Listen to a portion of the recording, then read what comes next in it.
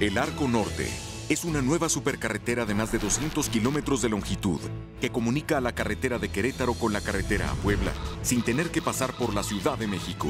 Además de generar miles de empleos en su construcción, esta obra beneficiará a más de 20 millones de habitantes del centro del país. Con el programa de infraestructura más grande de la historia, impulsamos la economía y generamos empleos. Para vivir mejor. Tercer informe de gobierno. Gobierno federal.